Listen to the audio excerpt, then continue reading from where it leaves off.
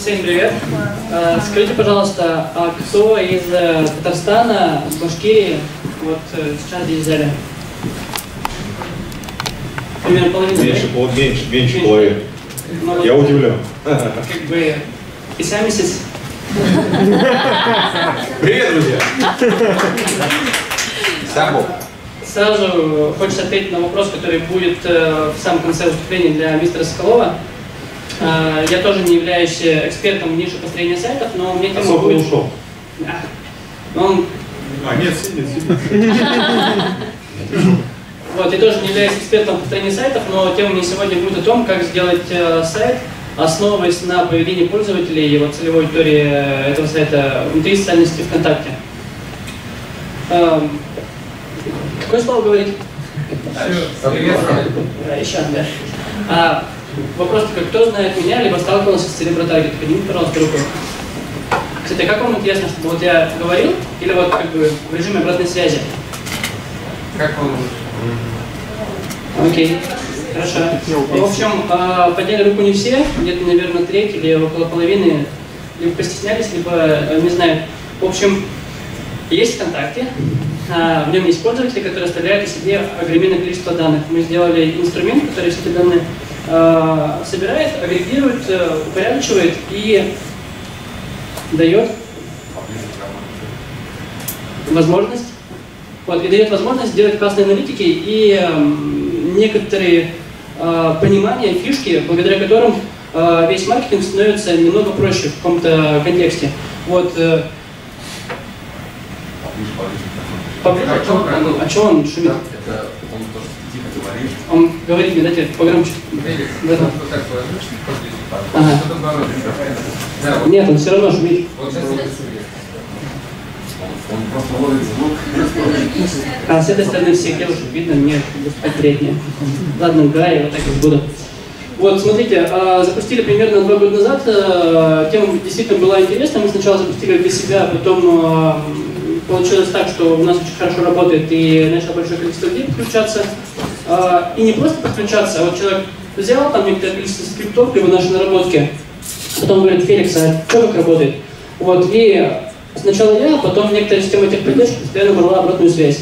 Э, За два года работы мы собрали обратной связи порядка 100 тысяч, пользователи обработали порядка уже 35 тысяч, и то, о чем я буду выступать, это не только мой опыт, это мой опыт, э, опыт э, нашей поддержки, наших редакторов и людей, которые работают с сервисом. Да, Давай следующий слайд. А, У кого есть э, сайт, либо кто занимается разработкой сайта, можете, пожалуйста, руку поднять, чтобы я знал, на кого ориентироваться. А, Скажите, пожалуйста, а, правильно ли моя гипотеза, что как только идет э, речь о создании сайта для там, э, продаж, кстати, мы сегодня будем говорить только о сайтах для, для продаж, то довольно быстро встает вопрос о сегментировании входящего трафика на сайт. Ну, есть такое, случается? Вот, э, да, вот точно так же, вот как бы человечек слева это просто вот представитель целевой аудитории, э, кликает рекламу, переходит на сайт. Давай следующий слайд. А, Тут мы сразу поняли, что просто давать на всех смысла не имеет, потому что если мы посегментируем, мы заметим, что кто будет хорошо конвертироваться, кто не очень хорошо. Простая, понятная мысль, верно? Я сейчас буду несколько простых, понятных вещей говорить, потому что а, весь доклад это как бы некоторая фишечка, которая действительно из социальных сетей позволяет вам сделать сайт очень крутой на конверсию. А, следующий слайд. А, как только мы а, поделили весь трафик на сегменты, а, мы его выпускаем и понимаем следующую мысль о том, что а, для разных сегментов трафика нужны разные рекламы и разные посадки. Логично, верно? Ну, это вот когда начинаются различные АБ-тесты, и когда для... Давай, следующий слайд. Это вот когда для каждого типа трафика у нас э, своя реклама, и при переходе на посылки человек получает свой сайт. С- сайт. А, грубо говоря, как это работает в реале. А, человек э, видит э, в рекламе нечто, что ему очень близкое, такой, о, это про меня. Кликает, и тут ему на сайте говорит, чувак, мы же про тебя, вот, короче, вот такие вещи, вот они тебе помогут. Он такой, все пацански, вот, ну, реально, так, так же, как я хотел. Вот, и так на каждый тип э, трафика. А, сейчас, секундочку.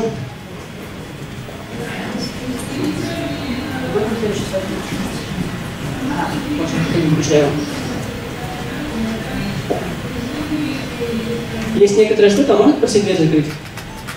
Секретная информация будет. А, В общем, а, теперь я подвел э, как бы вот, вот эту всю предысторию о сайтах и как они вот э, работают, чтобы конверт был получше. А, К тому, чтобы можно было ближе к социальным сетям. Давай следующий сайт. А, В любом типе трафика есть э, три типа подготовленности клиента к товару. Горячий, холодный, теплый. Согласны? Вот э, из всех обучающих материалов, которые я встречал, есть конверт Monster, они занимаются сайтами очень долго, очень хорошо. А у них есть э, объяснение э, температуры посетителя сайта. Очень хорошее, я взял туда именно три вещи, которые горячий, холодный э, и теплый. И вот на пример, давайте я скажу, который мы дальше адаптируем под э, ВКонтакте. К примеру, кто такой холодный трафик? Это когда это вот не все люди, которые ни о чем не знают, вот мы них пускаем бы, трафик, а некоторый человек, у которого есть, ну, сформировалась проблема, и он уже думает, блин, а как, в принципе, такие проблемы решают? Грубо говоря, если я такой с утра просыпаюсь, говорю, я вот хочу по утрам кушать и чпичмяки, ну вот просто вот хочется и все, а как это можно было бы решить? Я думаю, как бы я могу либо сам готовить, либо в магаз либо э, зависит от татаришку, которая будет по утрам готовить. Вот. То есть вот, э, когда человек на таком уровне э, взаимодействия с какой-либо своей задачей, это вот называется холодный трафик. А, следующий трафик теплый, когда он такой, окей, есть там пять вариантов решения задачи. Давай-ка их посравниваем и посмотрим, что лучше. И вот когда вот он э, в этом режиме выбирает, что именно лучше, вот э, как, как бы ищет сферы, которые вот э, сферы решения задач, которые будут наиболее ему э, близки. Э, если с чипчмаком, например, брать, то это будет такой, такой, ну, татарочку-то лучше, чем в кафе есть, и как бы самому готовить не надо будет. А, Третий тип э, клиентов это горячие, которые уже определились э, с направлением э, решения своего типа задачи и уже просто как бы выбирают, грубо говоря, подрядчиков, которые будут разрешать их задачи. Либо подрядчиков, либо тех людей, которые будут предоставлять услугу, продукт и так далее. А, В данном примере здесь речь о том, что я думаю, ну, татарочку, так, как можно познакомиться, либо на Сабантуй, а, либо ну, в Казани ли это, либо диаспору в Петербурге. Фамилия это Зинатуллин, тоже татарин, значит, как бы нормально зайдет. Вот. Это, по примеру, вот э, как аудиторию можно поделить по типам под- подогретости. Прежде чем пойдем к следующему слайду, давайте вот немножко с вами пройдемся по тому, что вот из этого было понятно. Представьте себе, человек приходит в спортзал, к тренеру говорит, я, я прочитал, а, а нет, Сейчас, это потом буду. Давай следующий слайд. А, теперь адаптируем это под э, социальные сети. Как себя ведут люди, которых можно назвать э, определенным типом трафика внутри социальной сети. Вот если исходить из того же примера, который я выше предлагал. Холодный тип трафика. Это когда я думаю, так, короче, хочу пич-пич-мяки.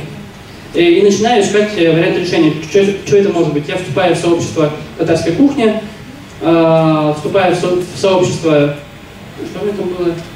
А, дай прошлый слайд. А, татарский кафе еще, ну, вот в таком плане. Сюда. Вот. А, теплый, это когда я уже такой а, выбрал, а, какой тип сферы мне будет э, разрешать мою задачу. И такой, ага, вот сообщество, короче, кулинарии. И оттуда буду добавлять татарочек в друзья. Вот это вот, когда я такие вещи уже делаю внутри ВКонтакте, я уже теплый вид э, трафика.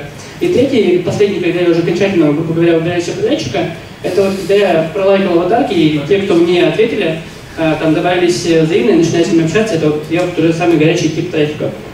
Вот. Теперь из того, что я сказала, а, давайте на примерах, а, два, два примера расскажу из э, реальной жизни, ну, посмотрим, получится у вас распознать как бы все три типа поведения внутри ВКонтакте.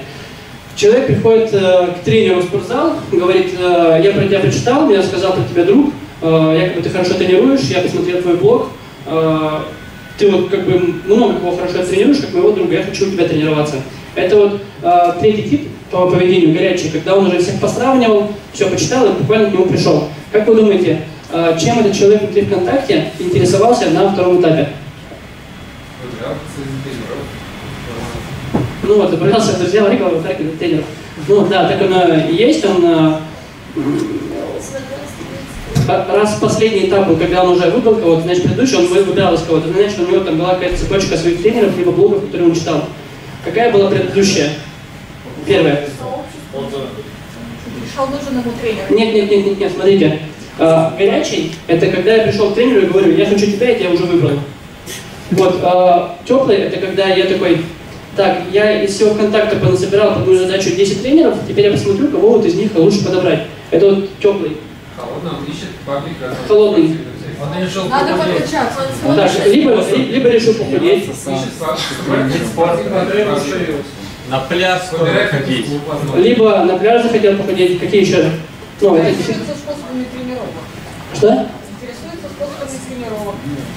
Ам, Вступает во всякие там. Нет, когда интересуется способами тренировок, это уже будет второй теплый, потому что он уже как минимум а, разрешил для себя, что спорт для него будет решением этой задачи. А не, примерно, хирургия, которая тоже поможет быть ему на пляже потом замечательным. Как вариант. Ладно, это, в общем, ре- реальный кейс был, а холодный чувак такой думает, я курю кальян три года, и каждый раз, когда поднимаюсь по лестнице, и у меня одышка, меня это очень сильно парит, надо что-то делать. Ну как бы это можно разрешить? Просто бросить курить, либо заниматься спортом и так далее. Ну и потом у меня такая цепочка пошла. Теперь еще один пример, чтобы закрепить, потому что это все очень-очень важно для понимания. А, так.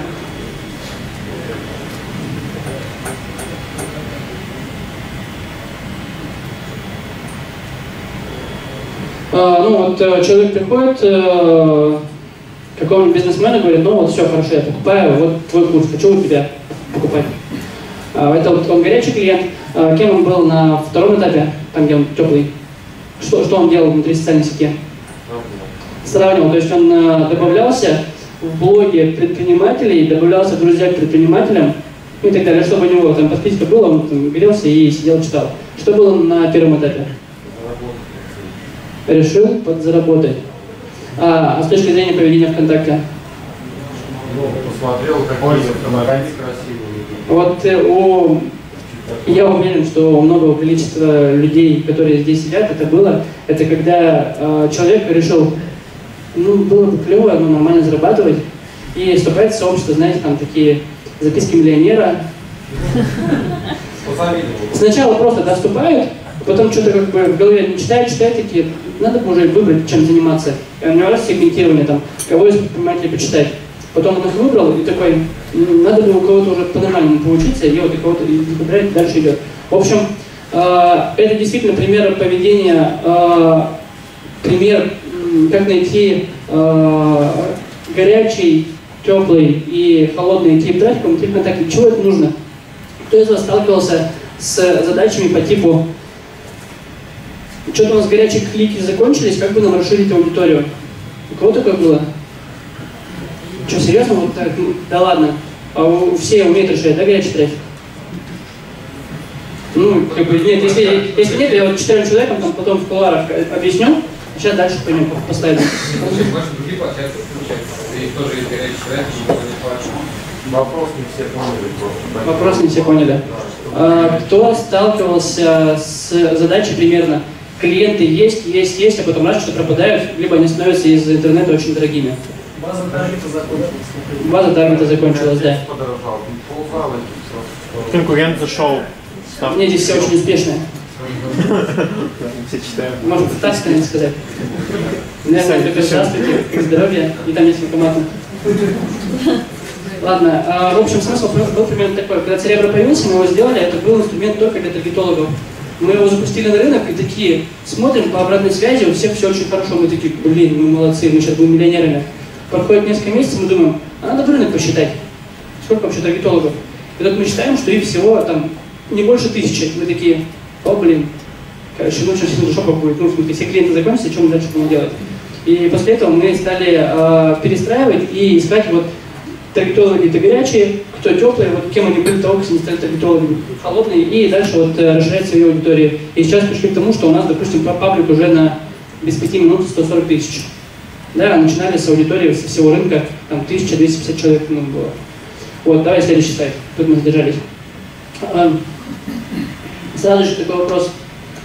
Когда я все такое про сообщество э, рассказал, куда человек вступает, какая у него динамика э, внимания внутри ВКонтакте, которая отражает его как бы реальную жизнь, кто-то может подумать, что, ну, да нет, как бы я же не могу по пабликам сказать на самом деле, чего человек интересует или не интересует. Э, я сделал скрины моего друга, надо будет ему потом отправить фотографию с этой конференции э, в группу, в которых он состоит. И вот э, первая часть это самые нижние группы, в которых он был, то есть это, знаете, как бы несколько лет назад. А правая это вот самая верхняя, которая вот сейчас. А, красным я подчеркнул а, группы, которые относятся, знаете, к сообществу по типу затусить. Ну там барные, алкогольные, вечеринки, день рождения и прочее. Несколько лет э, назад он был студентом, он действительно постоянно тусил. Сейчас у него жена, ребенок, он э, работает инженером, и вот у него как бы интересы совершенно сменились, он уже почти не бухает. Действительно, просто, действительно, просто а, потому, в каких э, сообществах человек состоит, каких, какие у него в топе, в которые он сейчас заходит, они действительно отражают его интерес. И те вещи, которые я выше говорил про э, горячую, холодную, теплую аудиторию, они очень реальны. Это ну, практика не только у меня. Следующий слайд. А, ну, а, сейчас такая сразу небольшая типология. А, под э, разные типы э, температуры аудитории логично, что должны быть э, разные ленды, верно? Ну, у каждого из вас наверняка, когда поработали с сайтами, есть свое мнение на этот счет. Ну вот я решил вам показать. А, когда тип аудитории холодный, то есть, знаете, вот просто сидит, подписался на сообщество по типу записки миллионера. Что там больше всего расходится по контенту? Помните, какой тип контента больше всего расходится? 30 фильмов э, успешных предпринимателей, 50 книг о том, как сделать миллион 21, ну и так далее. Да, вот, они расходятся. Соответственно, а под них сайт делается такой же. Как бы э, некоторая зацепка, и который ну, просто собирает лид, а лид потом будет отогревать э, через e-mail. Потому что ну, холодный он в лоб очень тяжело будет продаваться. Следующий слайд. Теплый, теплый, помните, это момент, когда человек уже определился, примерно чем он будет заниматься, и вот он выбирает среди как бы э, конкурентов, точнее конкурентов сфер, которые будут решать э, его задачу. Помните, да? Соответственно, на этом моменте, когда человек э, приходит на ваш сайт, у него вот ленд с этими, как там, с яйцами, ну, как бы говорят, с доказательствами, почему вот именно вы. Вот. Следующий слайд. Это вот горячий трафик, когда аудитория уже выбрала как бы некоторую сферу, которая будет ее решать, и они уже выбирают э, подрядчика, который будет это все разрешать точно. Э, соответственно, здесь э, нужны дедлайны, э, ну, просто дедлайн фактически. Ну, знаете, когда акция, э, скидка, либо там черная пятница, вот э, на них такая работает. Теперь следующий слайд. Вот. Это мы сейчас поговорили про ленды, про типы трафика, и теперь э, может возникнуть такой логичный вопрос, окей, мы послушали про ленды, прослушали как бы, разные типы э, трафика есть. Из ВКонтакте мы можем их распознать, типа, как мы их применим, о чем мы из этого возьмем. Какой-нибудь появился такой вопрос? К чему это, как это вообще можно э, применить в жизни? Нет.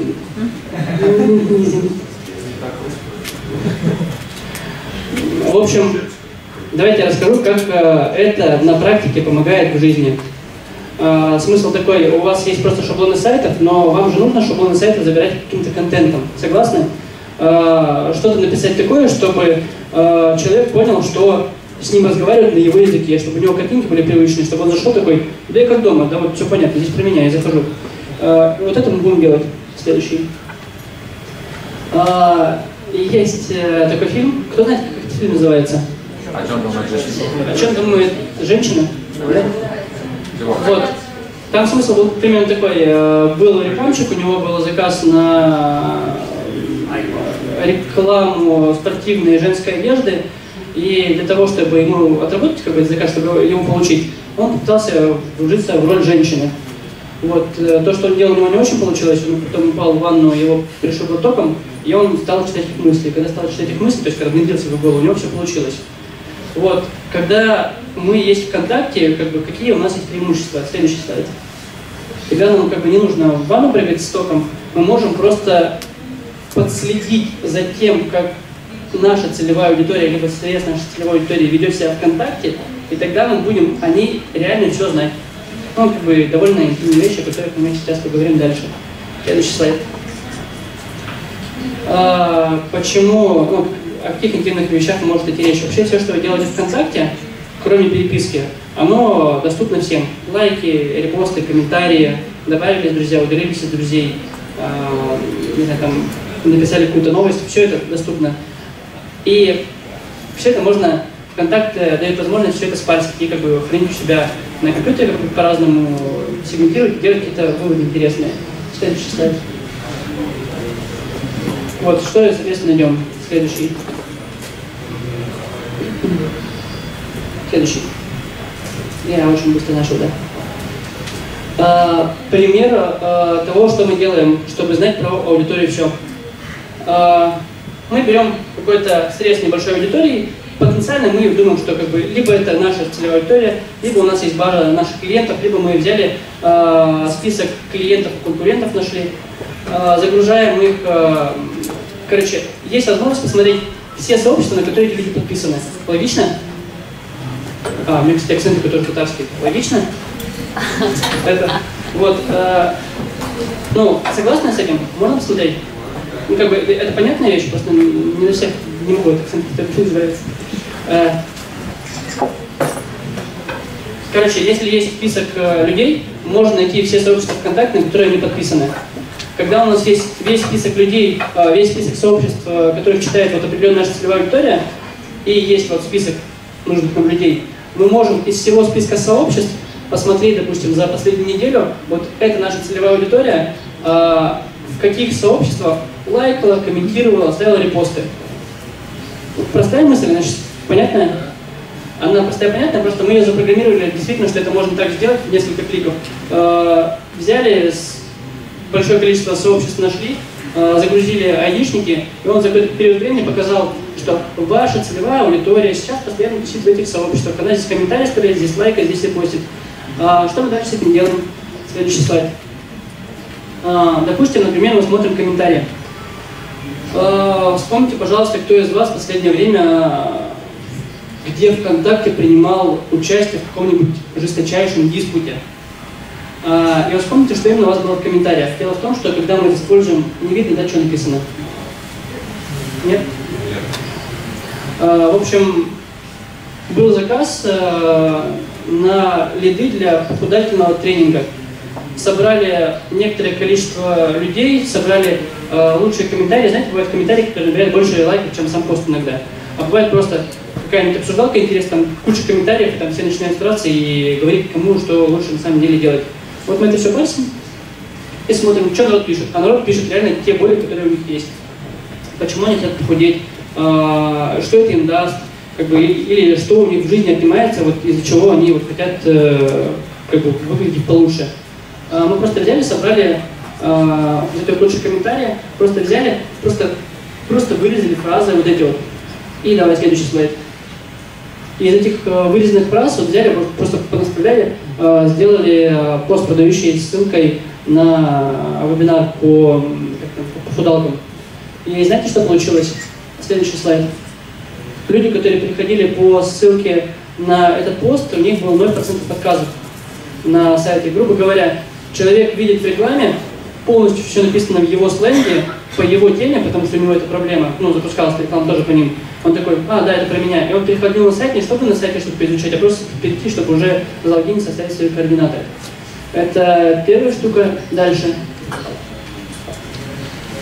А, смотрите, к примеру, мы, а, я взял, собрал аудиторию людей, которые посещали концерты группы Луна. Кто не знает, какую группу?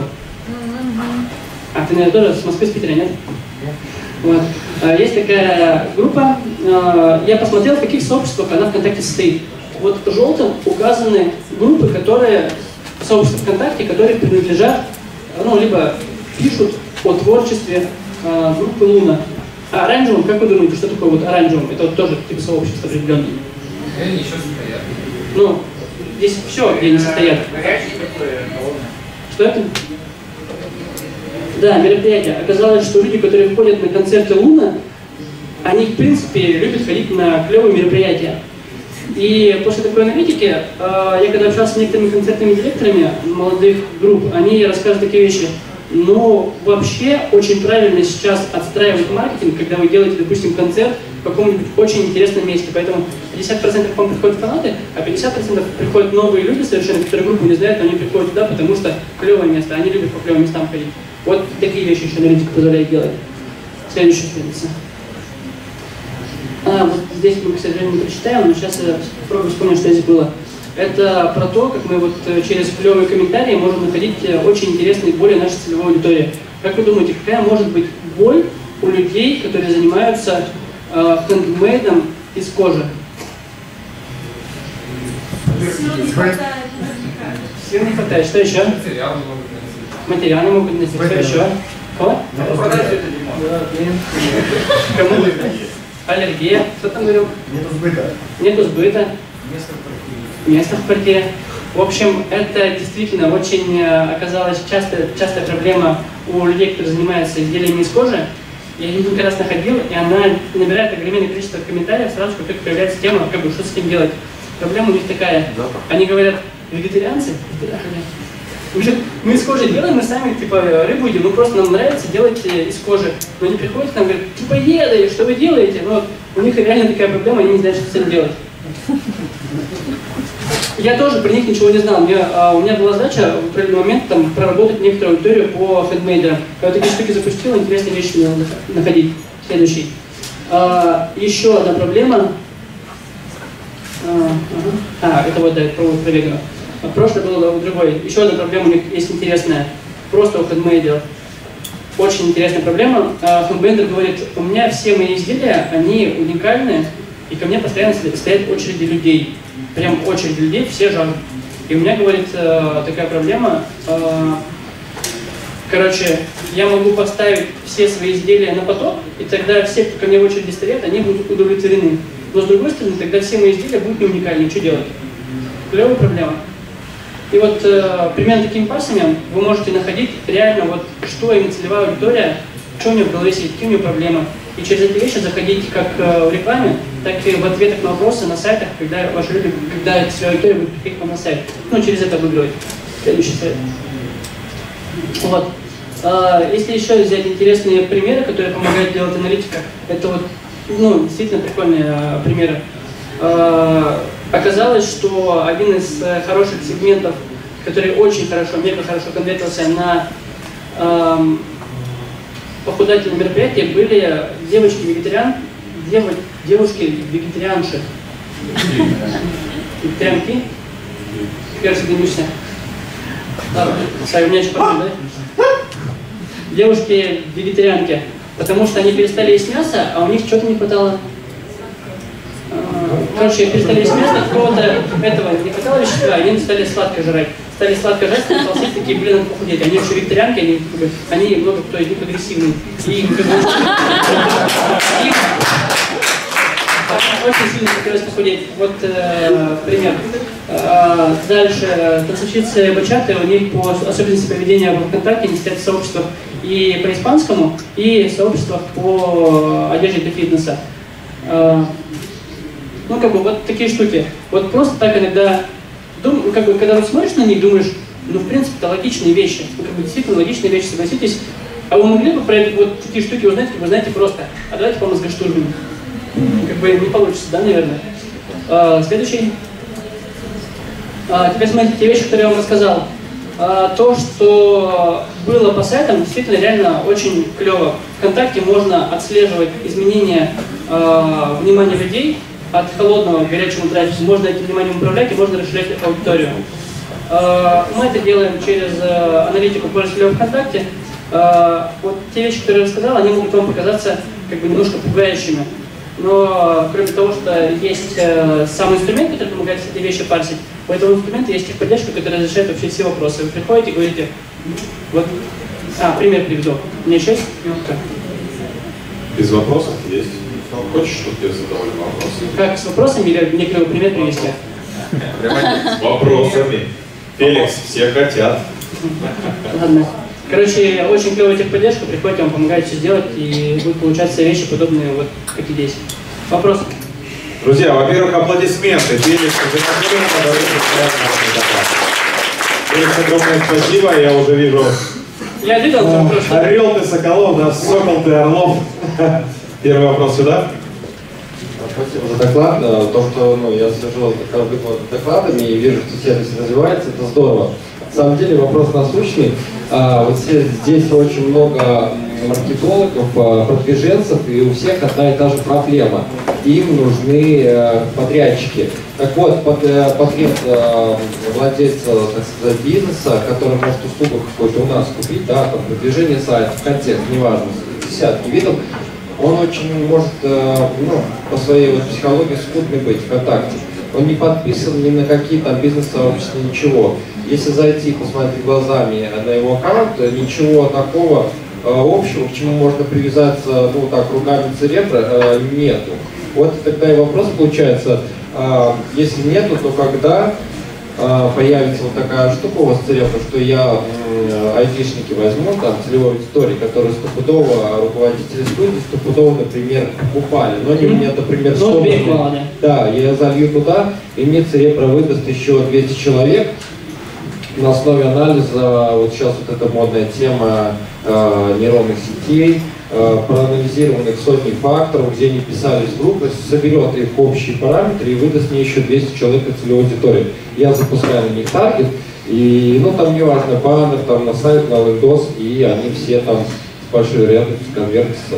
А так, как бы, с виду это обычные аккаунты, которые, ну, ни, ни- ни- вообще не говорят. Ну, и когда возникают такие э, трудные вещи, мы на самом деле просматриваем по одному аккаунту и находим что-нибудь интересное, либо хоть сколько-то смежное, и э, через это идем. А, То, что ты сказал, есть интересная такая э, идея, интересная парсера, когда тебе кидают список клиентов и даты, когда человек покупал. А мы этим парсим весь контакт и говорим, что человек перед тем, как купил эту штуку, ВКонтакте за две недели он делал вот такие-то вещи. И мы по всем людям проходим и находим похожие вещи. Это, типа, вы находите места, где все был когда Ну, вот нет, вот что вообще человек делал, чтобы после этого он купил? когда ты покупал, то есть ему на сайте. Я не знаю, как это сработает, это еще не реализовано. Это как пример того, что можно делать с небольшой... Коллеги, я думаю, что вам самое, Дискуссия, да. самое место в кулуары пойти. Что еще? Вот, а, я думаю, что мы на этом закончим, потому что по таймингу у нас уже пошло начало следующего доклада. Огромное спасибо Винокурину.